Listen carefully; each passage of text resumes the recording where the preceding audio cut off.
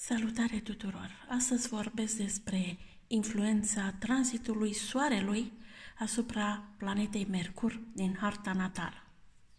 Ce se întâmplă când Soarele în tranzit formează o conjuncție cu Mercur din harta natală?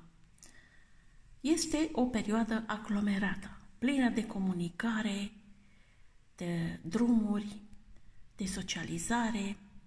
Este posibil să fiți mai autoritari, Acum este și puțin probabil să vă rețineți ideile, adică o să dați din gură, nu vă abțineți, da?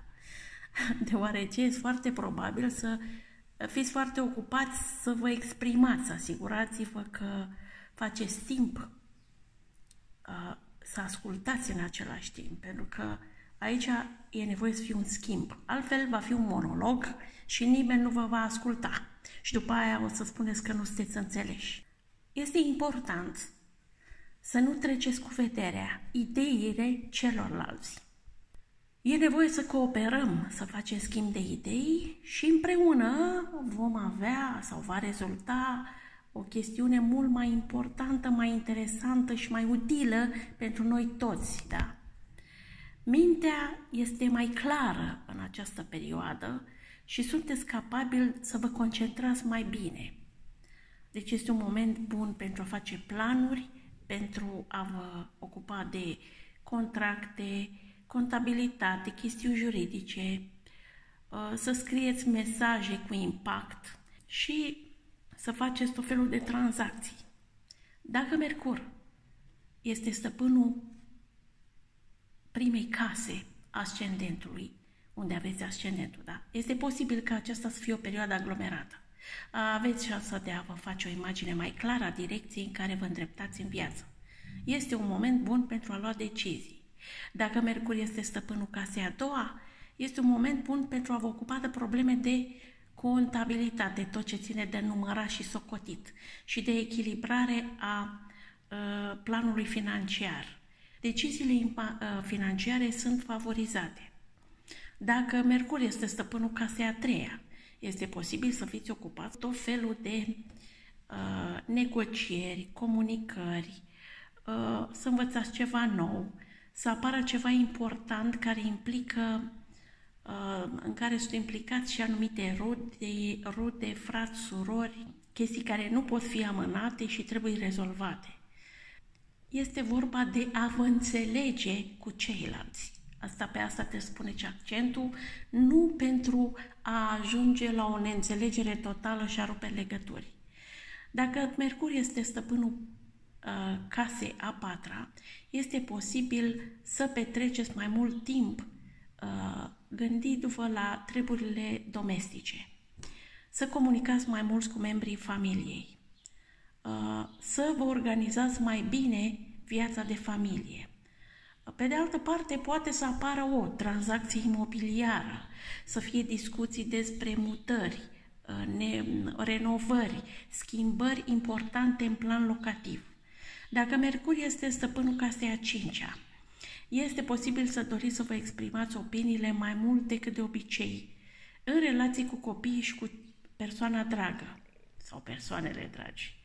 Nu sunteți în stare să țineți secrete în această perioadă, dacă aveți copii sau uh, sunteți puși pe investit, este posibil să primiți informații utile în planul ăsta. Comunicarea cu copiii este importantă pentru că acolo e nevoie să aveți aceeași înțelegere a ceea ce vreți uh, să obțineți de la copiii voștri. Pentru că ei s-ar putea să vină cu tot felul de solicitări. Iar voi să fiți în, în situația în care să știți cum să puneți problema în așa fel încât să ajungeți la o înțelegere comună. Dacă Mercur este stăpânul casei a șasea, este un moment bun pentru a avea uh, grijă de sănătatea voastră. Vă duceți să vă faceți analize, vă duceți la medic, acele analize anuale și așa mai departe. Uh, la, în mediul de lucru, acolo e multă comunicare, uh, pot veni informații, vești importante, uh, multe planuri, proiecte care se pun pe masă și poate să face o negociere, se prioritizează lucrurile, trebuie să fiți și voi prezenți acolo ca să contribuiți cu părerea voastră. Dacă Mercur este stăpânul casei a șaptea, apar situații în care, în diverse parteneriate, colaborări, în relația cu angajatorul, cu partenerii de afaceri, cu partenerul de viață, pot apărea tot felul de comunicări acolo, de discuții, sau pot fi anumite negocieri, să se încheie o înțelegere, o tranzacție. Este posibil ca accentul să fie pus pe ajungerea la o înțelegere comună, da? o mediere, să fie toată lumea să cadă de acord cu anumită situație. Nu contează categoria de parteneriat. Poate fi partener de viață, angajator, partener de afaceri, colaboratori, orice. Dacă Mercur este stăpânul casei 8 este posibil să aveți tendința de a amâna mai mult decât obicei anumite schimbări. Uneori indică o tendință de a ignora anumite informații importante sau a le subestima importanța. De multe ori, anumite chestiuni care sunt foarte importante pentru noi trec neobservate de noi, pentru că tocmai nu suntem pe fază. Le ignorăm, suntem foarte mult atenți spre altceva. Puteți fi atrași mai mult de a studia chestii sau a descoperi, a cerceta anumite domenii care nu sunt, nu oferă informațiile pe tavă și necesită un efort din partea voastră de a vă informa. Important e să și înțelegeți ceea ce studiați la un nivel mai aprofundat, nu superficial, pentru că dacă e la nivel superficial, nu ați făcut mare prânză. Veți relua cu altă ocazie uh, studiu. Adică cam pierdeți vremea, da?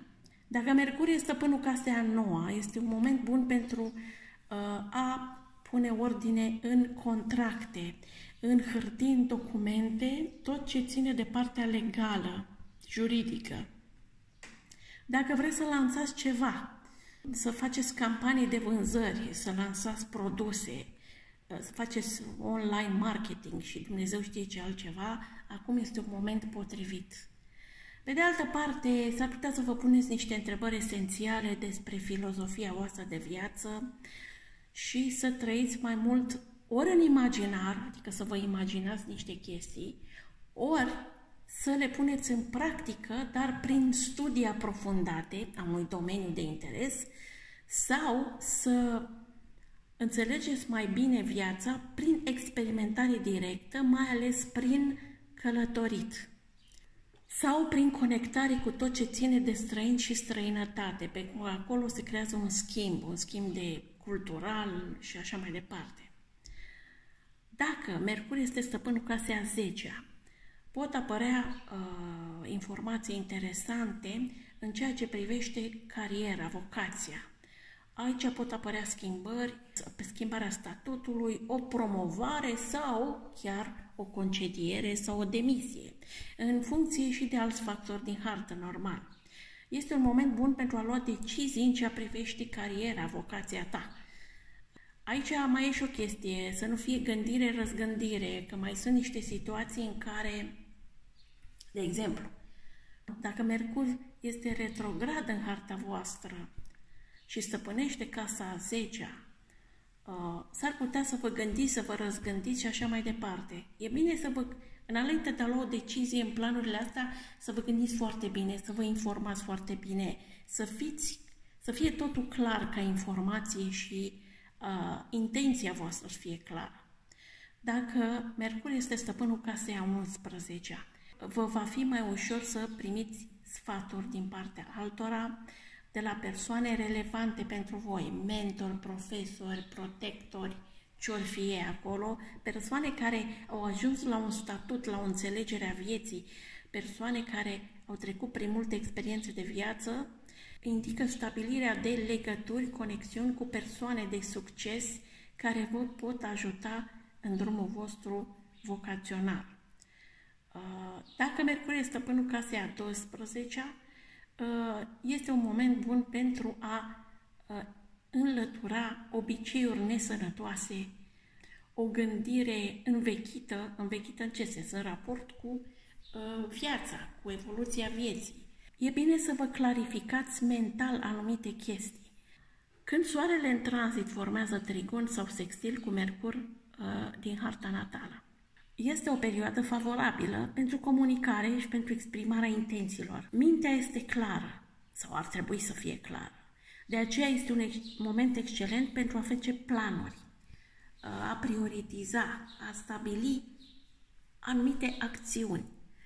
Se pot semna contracte, a se uh, trimite mesaje importante pe orice cale, uh, predare, promovare, uh, a ține conferințe sunt favorizate acum. Este un moment excelent pentru a învăța uh, ceva nou sau ceva care vă ajută la aprofundarea unei, uh, unui anumit domeniu. Orice are legătură cu tranzacțiile, comerțul sunt favorizate. Uh, pentru că soarele reprezintă vânzarea, iar Mercur reprezintă tranzacția. Uh, dacă aveți afaceri pe cont propriu, vă puteți aștepta să primiți mai multe comenzi. Pe de altă parte, e și un moment bun de a vă promova mai bine produsele. Dacă lucrați pentru altcineva, veți fi mai ocupat decât de obicei, uh, pentru că uh, uh, sunteți puși la treabă mai mult, pentru că potențialul de câștig pentru firma la care lucrați este mai mare. Uh, gen, uh, hai să lansăm repede produsul X pentru acum e pe val, știi? Adică ceva de genul ăsta. Dacă Mercur este stăpânul casei întâi, a ascendentului, este posibil să fie o perioadă aglomerată și este un moment bun pentru a lua decizii. Dacă Mercur este stăpânul casei a doua, este bine să vă puneți să faceți bani, pentru că există oportunități care apar în uh, mediul vostru apropiat, trebuie să fiți pe vază. Dacă Mercur este stăpânul casei a treia, puteți să învățați să vă îmbunătățiți stilul de comunicare, să învățați ce nou va nou, să vă îmbunătățiți uh, skillurile respective. Drumurile scurte sunt favorizate pentru că puteți să întâlniți persoane importante de la care să primiți informații relevante. Dacă Mercur este stăpânul casei a patra, uh, este uh, momentul bun de a uh, face anumite schimbări în planul domestic. Schimbările astea înseamnă orice, mutat, schimbat, îmbunătățit. Comunicarea este importantă acolo, în familie, să fie o înțelegere, să luați decizii împreună. Dacă Mercur este stăpânul casei a cincea, este important uh, să vă organizați mai bine comunicarea în relație cu persoana iubită, cu copiii și să investigați, puteți avea șansa să primiți informații relevante despre uh, situații cu, uh, favorabile de investiții, uh, gen bursă uh, și alte uh, categorii, fonduri de investiții și așa mai departe. Dacă Mercur stăpânește casa a șasea, este un moment favorabil pentru a vă uh, îmbunătăți stilul de viață, rutina zilnică să fie mai activă, da? să fiți mai activ în viața voastră, uh, să nu așteptați să vi se întâmplă anumite chestiuni.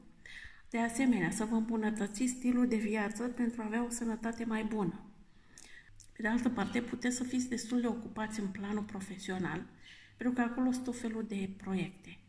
Dacă Mercur este stăpânul casei a șaptea, pot apărea discuții, negocieri în, cu partenerii de orice fel, uh, o, să ajungeți la niște înțelegeri, uh, să faceți niște tranzacții importante. Dacă Mercur este stăpânul casei a opta, aveți nevoie să vă analizați foarte bine ce schimbări importante sunt în viața voastră în perioada respectivă, să le acceptați, să faceți ceva cu ele, să vă folosiți de acele schimbări, nu să le vedeți ca pe uh, ceva, ca un dușman din exterior care vine să vă submineze. Sunt anumite evenimente care pot să vă ajute să evoluați. Pe de altă parte, o să aducă relații uh, uh, bune cu tot felul de instituții financiare, uh, bănci, asigurări, pensii, um, relația cu uh, rudele partenerului de viață să se îmbunătățească, să fie mai multă, mai bună comunicare, puteți să atrageți mai ușor resurse din partea celorlalți prin modul vostru de a vă exprima și a comunica. Dacă Mercur stăpânește casa a noua, este bine să uh, aveți uh, toate documentele uh, scrise, contracte, toate puse la punct. Uh, aveți posibilitatea să călătoriți. Dacă aveți un proces în derulare și aveți dreptate în acel proces, adică voi vă luptați pentru a câștiga dreptatea uh, și nu ați făcut ceva ilegal, aveți șansa să câștigați.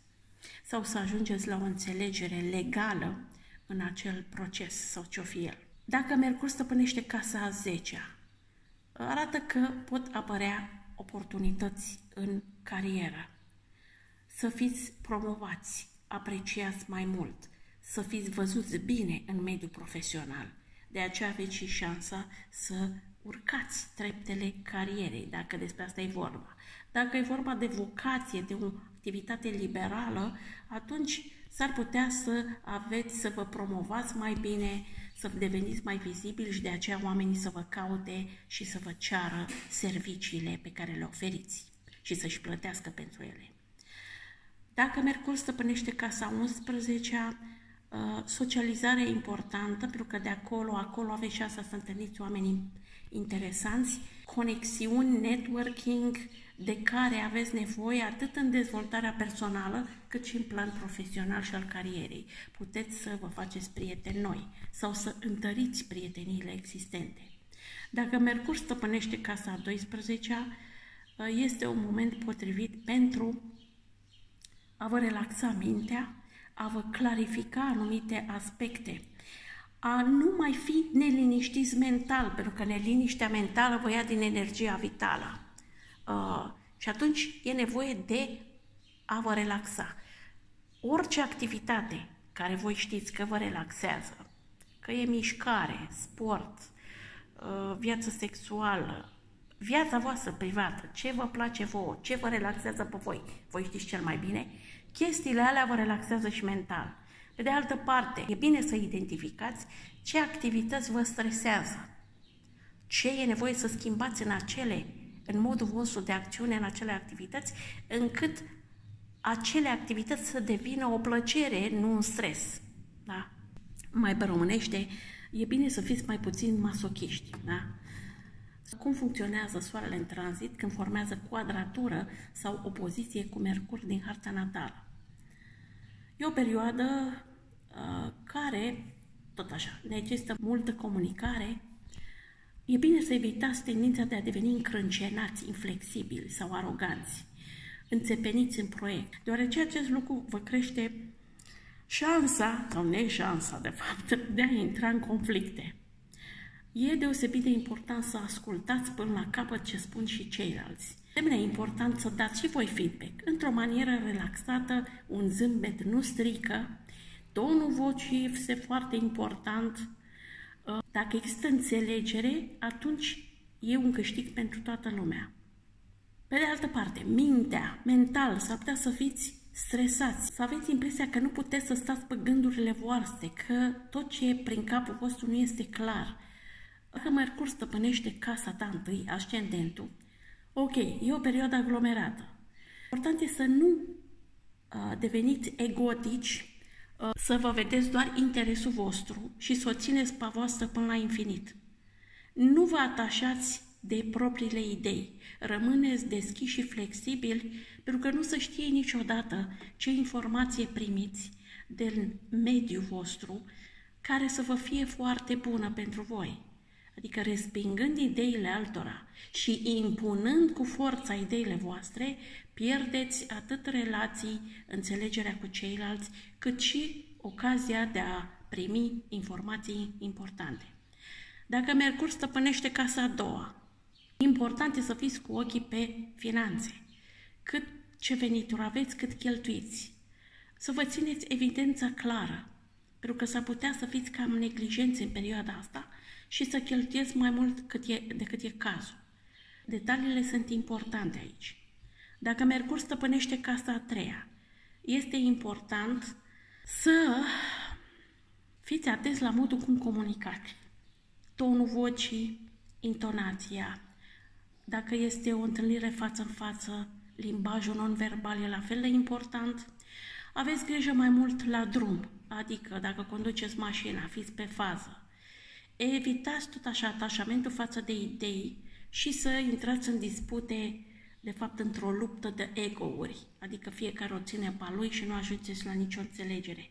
Negocierea. Uh, aici e nevoie să identificați care sunt lipsurile voastre uh, apropo de stilul de comunicare. Dacă, de exemplu, nu sunteți prea diplomați, încercați să învățați să fiți mai diplomați.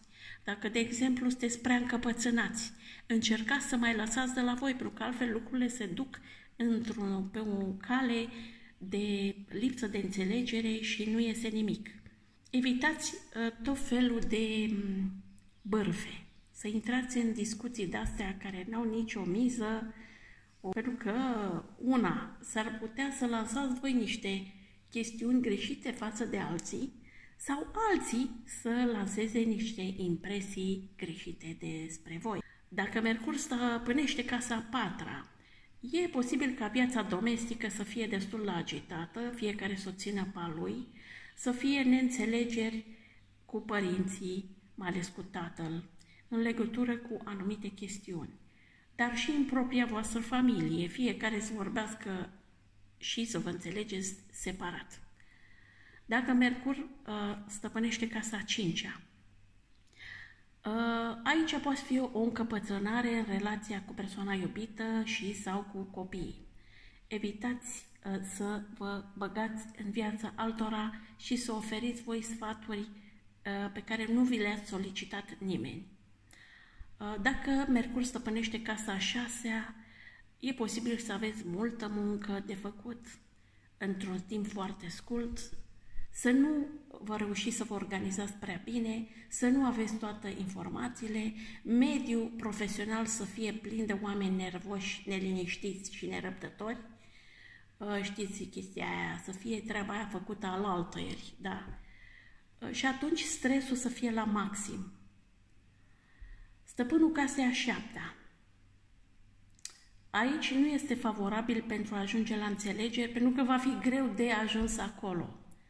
Uh, mai bine petreceți timp pentru a regla anumite neînțelegeri, pentru asta e nevoie de claritate în mesaje și de a asculta și părerea celorlalți.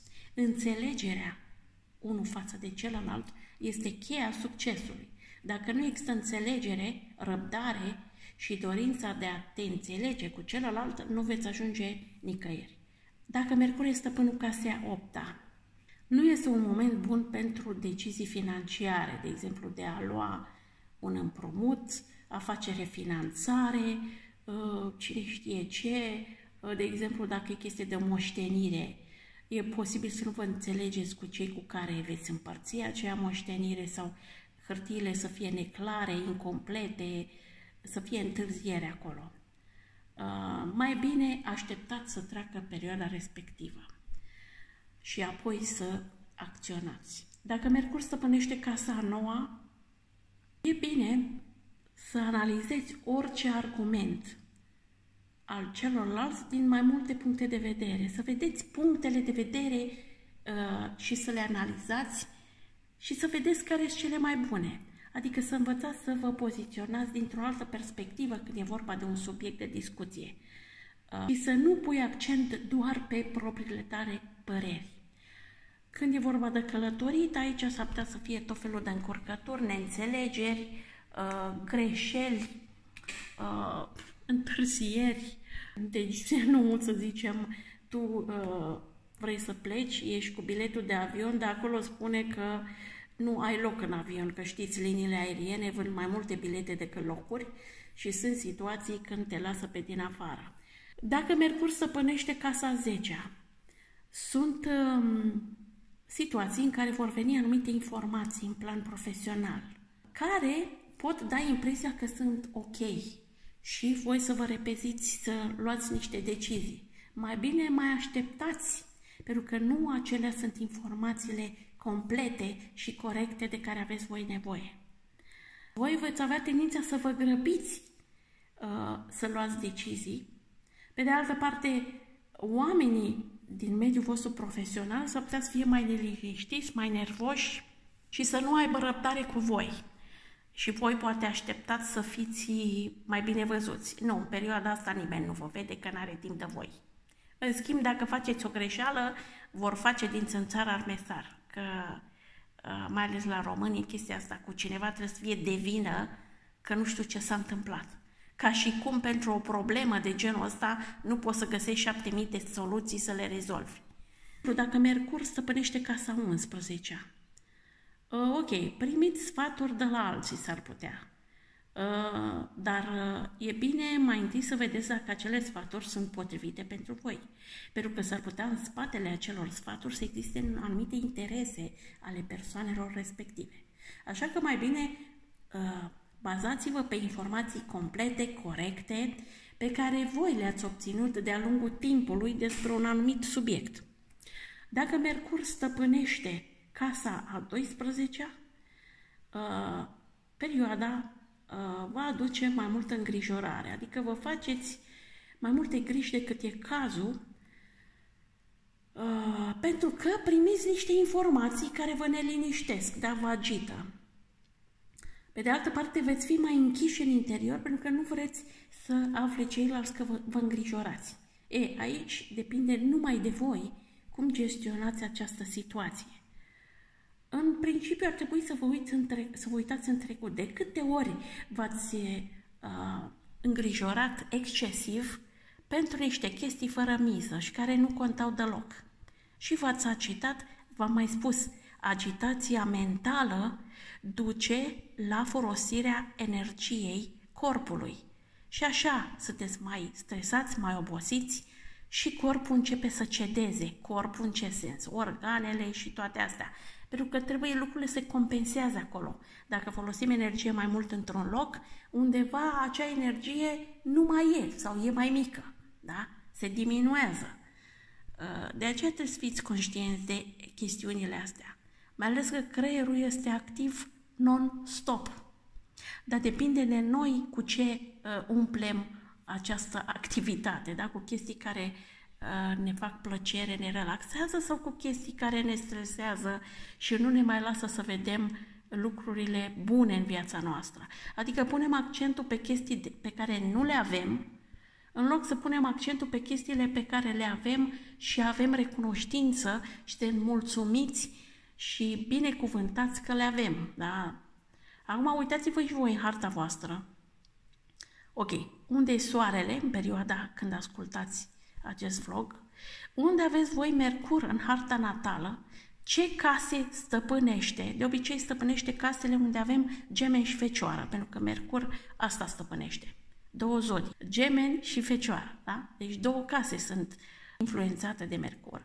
Și vedeți ce aspect formează soarele cu Mercur din natal și atunci veți observa și acele case cum funcționează în perioada respectivă. Aștept întrebările și comentariile voastre. Până data viitoare, relaxare, comunicare, negociere, înțelegere. Hai să vă fie bine! Pa, pa!